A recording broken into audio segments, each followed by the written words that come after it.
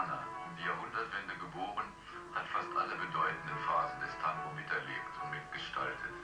Mit 18 komponiert er seinen ersten Tango für Carlos Gardel.